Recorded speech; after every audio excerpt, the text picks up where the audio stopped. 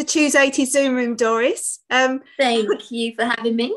Oh, you're welcome. We couldn't wait another minute for you to join us. Sorry, we couldn't Love resist it. that. Can't resist Yeah, I love it. Can't wait. We'd like to talk Yeah. to you first about the one of the latest projects you've been involved in, which is the Rediscovered album. Um, Yep, so that's basically Yeah. 80s artists singing a song of their choice from any era. So you've chosen um, Put Your Records On by Corinne Bailey Rae, and it's a Mhm. fantastic cover. Um, what made you choose that? Um, I love her music.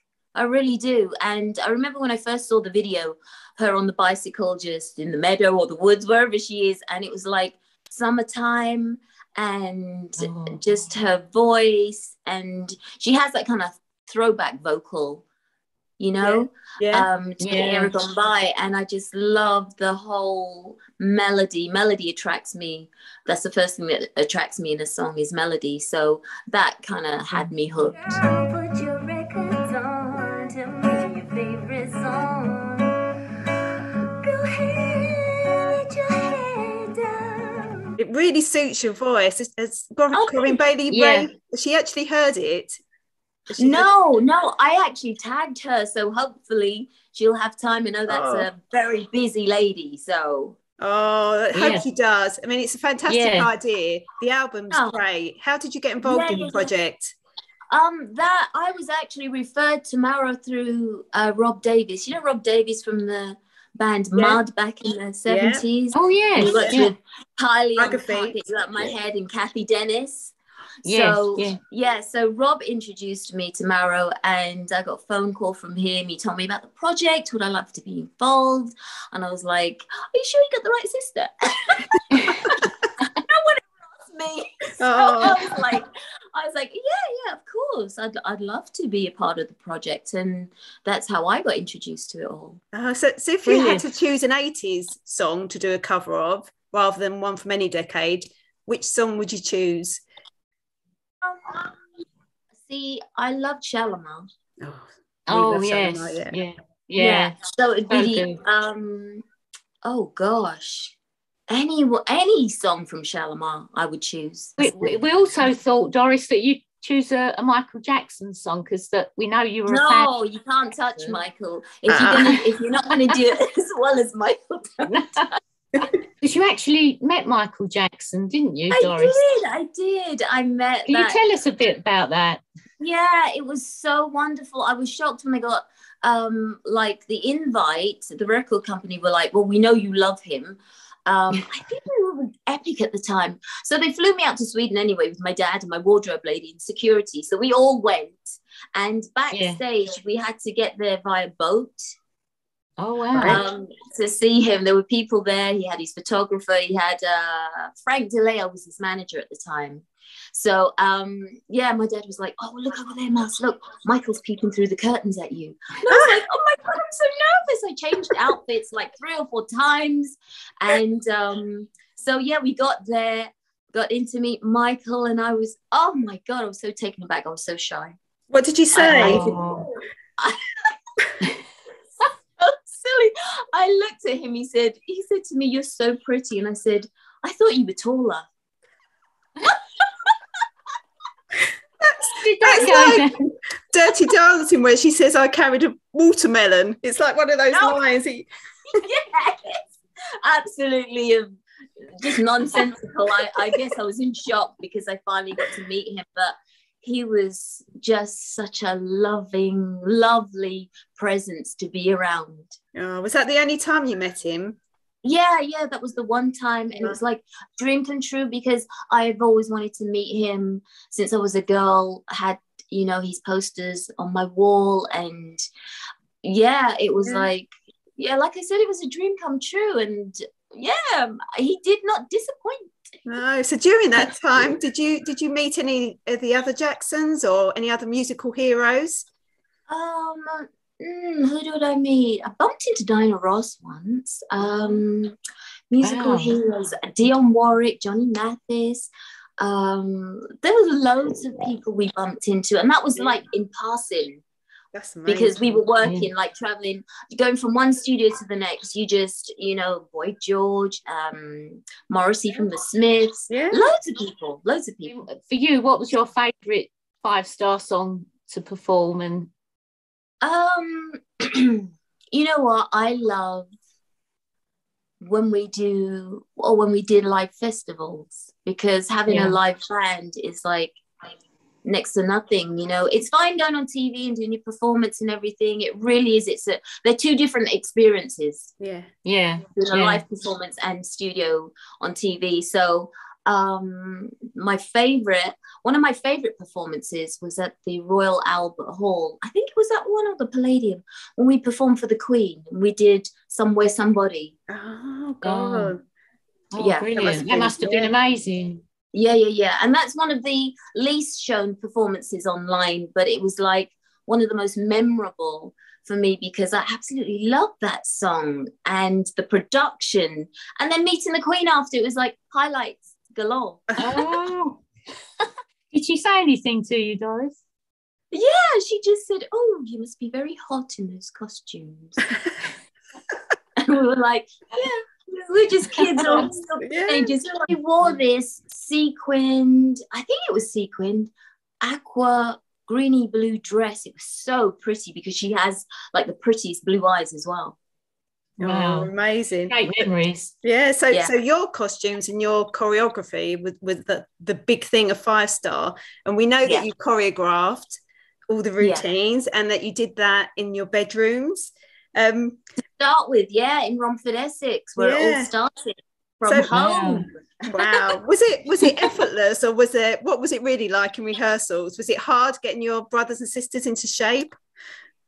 Um, no, because if you think about it, Dell was 12 and only interested in football. Stead was just in and out of college at 18, 19, and the other three girls in between age. So it was all so new and exciting. You know, we didn't have a choreographer or a project manager. It was, you know, just from our own minds what we'd seen on TV and the acts that we loved. And it was like, oh, well, they do this. And, you know, my dad was like, well, you know, if you all want to be entertaining, you can't just stand there and sing. He says, do some moves or something. And it was like, oh, what should we do? And I was like, oh, why don't we do this? And why don't we do this with the hands? And, and everyone was like, well, you know, none of us are choreographers. Stead was at college, actually. He was at Laine Theatre. Yeah. But still, it was like Stead was learning ballet and all the technical, yeah. you know, like Yeah. jazz and modern. And this was pop.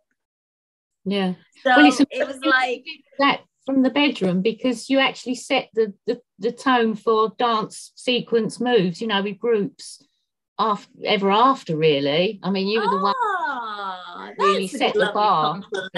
That's a lovely compliment because we all, we were always inspired by the American acts because no one here was really doing that. So No. we just thought, yeah, let's do it. And if we're going to do it, let's do it at the best of our ability. So I took the lead on that.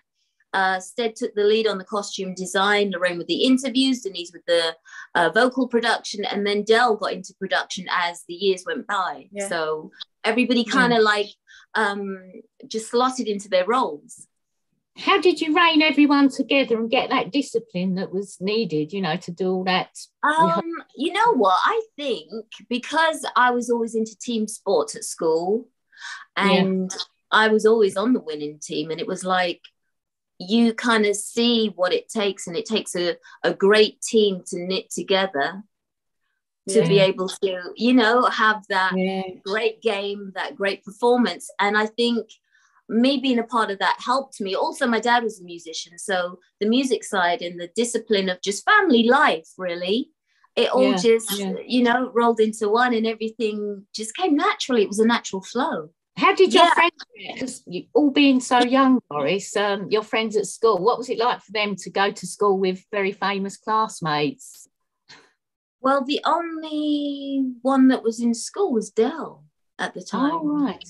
Yeah. Okay. Because back Okay. then we left school at around 15. Oh, yes. Oh, Yeah, yeah. Yeah, 15, going 16. was so yeah, Dell Dell um was still at school and he was just into football, but friends loved it. Yeah. Friends were like, Oh, oh, you know, oh, that's really cool what you're doing. You know, you're going to be famous. No, we like, we don't know, but you know, Yeah. this is really cool being in a studio. And then I remember the very first time that we did our first video hide and seek, we didn't actually own a video machine like a VHS or a beta machine. So we ran next door to our neighbors who had a machine and put the video in. And it was like just seeing yourself on TV on a video for the first time was so exciting and for the neighbors to see it as well and then word spread oh they're going to be a pop group so yeah Oh, great it must memories. be Really exciting, exciting times. times. Yeah, Yeah, definitely. yeah. What, what was the first TV show you appeared on? that was pebble mill at one Ah, in the Oh, afternoon yes. uh were you that nervous? was- yeah we were we were but it it was more like because people hadn't if you hadn't seen us on the pa circuit like a couple of years previously um you wouldn't know you would just think we were an overnight success but we weren't. We were doing pas for you know not a not a long period of time but enough to feel confident about performing in front Yeah. of others.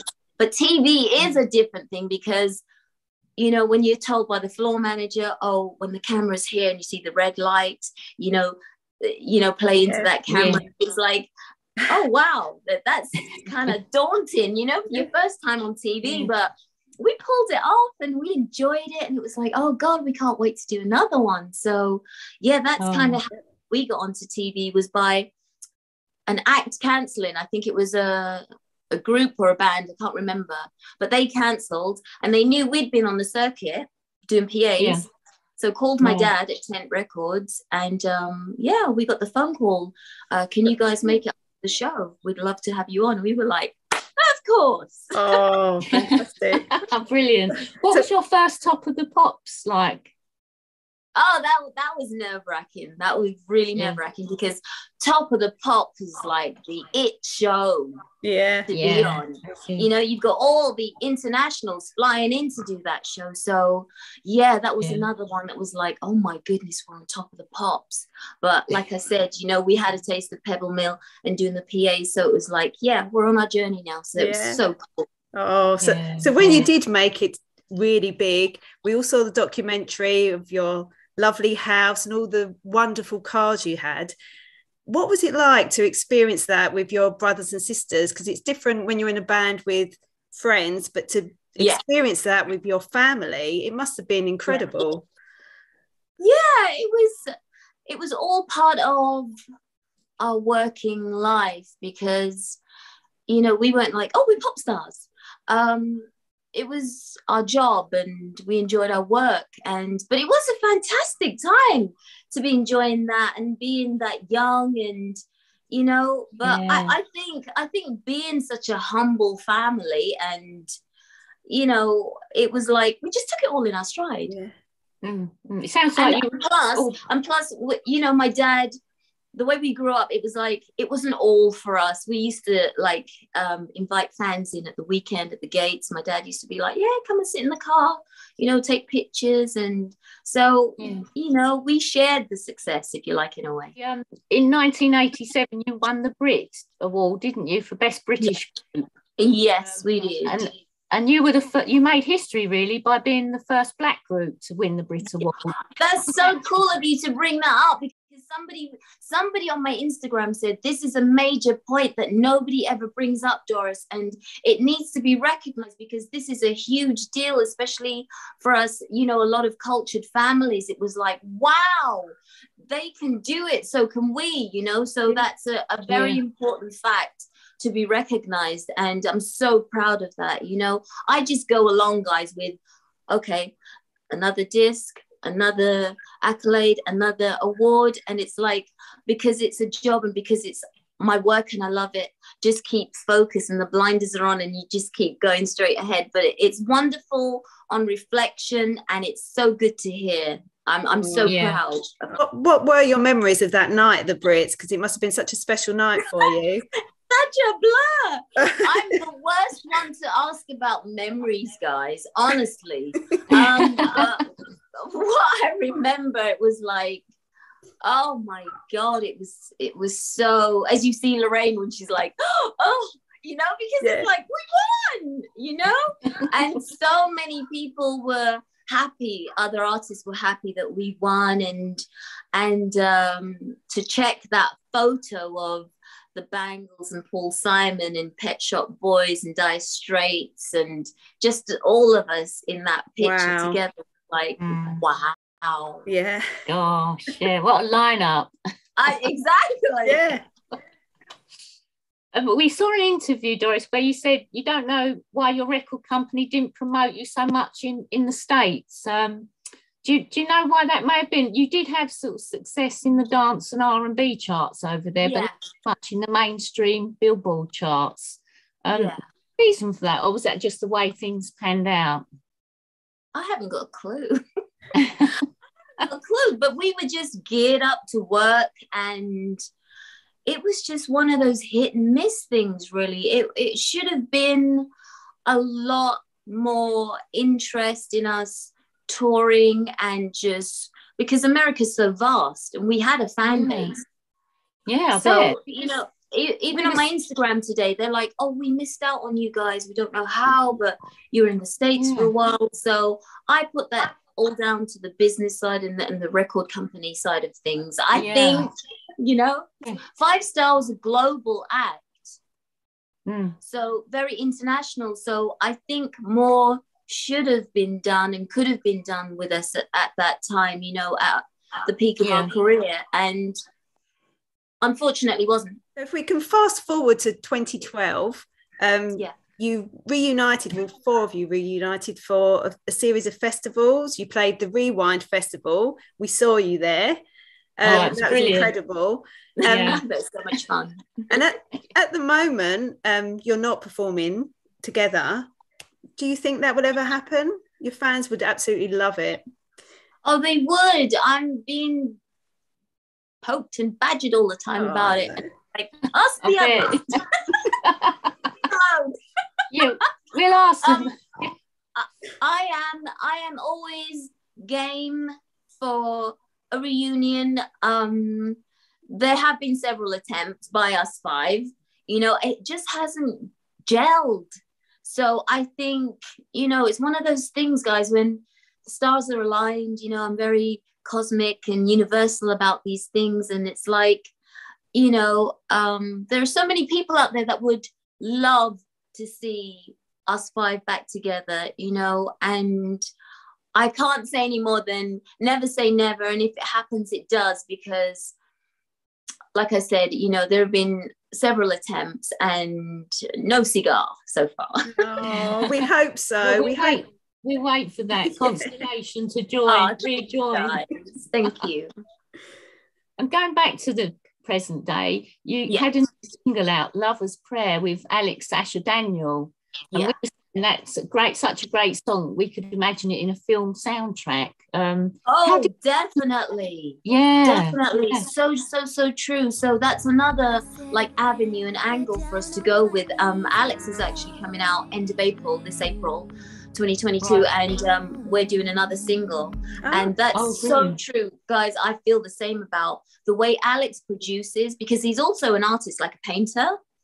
Oh, and he's a dj and you know he Yeah. has exhibitions of his work. And that lover's prayer has actually been an installation song for his artwork as well. Oh, so fantastic. yeah so so the song lends itself very much to other avenues not just a chart position but for movies and like the art installation and you know i i think alex is very very talented i call him genius his Yeah. nickname because well i have a project um that's personal to me it's an ep I, hopefully gets released this year guys it's to do with lovers rock reggae music Ah. Oh, brilliant. yeah Oh. I've got that ep coming out at some point So Oh, that we look forward EP, to that. That EP you're doing, is that with your cousin, Lady Margaret MC, or is that another project? No, it isn't actually. That's Oh. my own personal thing. But Lady Marga is to date, uh, we've done a remake of System Addict. Oh, Oh, brilliant. We've done a remake. she is wicked. She's awesome. She's she's styled it up to be really current. So she's kind of rapping style things Oh, in the wow. verses, and then I come in on the hook, and then we've got Felix from Basement Jaxx on it as well. Oh, oh, fantastic. Oh, Oh, can't wait. It's that a coming wicked out? mashup. It really is, and we've got Jansky, the producer. So, and the video's just been finished and edited and completed by Diego, and uh, it looks brilliant, guys. I can't wait for you guys to see it and hear it for the When summer. is that then? When's that coming out? That's going to be a June release, hopefully. Oh, lovely. Nice Yeah. warm weather and a nice positive. Oh yeah, yeah, yeah. song. The the whole vibe of it is uplifting, and we need that barbecue time, we- sunshine oh. weather. Can't Oh, we do, do. We we also saw a clip of you um doing a voiceover um for an Italian yes, film. my voiceover work. Yeah, you do Oh so much. You're busy lady. I am busy and I'm enjoying every minute of it. You know, we had that whole stint of lockdown, and but Oh, through- yes. throughout that period, I was still being creative, and that's actually how I got introduced to my cousin by lockdown. She was Ah. like, "I'm your cousin," and you know, should we do something? And I was like, "Yeah, sure." And she actually sent me the track, and with her on it, I was like, "Awesome!" So I got on with that. But the the um the voiceover work is something I've always wanted to do. And a friend of mine, Sarah, she actually introduced me to the Dub Juniors company with Kelly and and it was like oh I just enjoyed the whole process guys honestly it's Oh. it's something that suits my personality and you have to get into the character so I did the action pack animation I did a little bit in the uh, Invisible Thread the Italian movie they're both streaming on Netflix and then I did uh, Ah. Ada Twist Scientist was which is the Obama animation for children as Oh, well yeah. Oh, so fantastic. I'm enjoying it. I love Yeah. it. I love That's- it.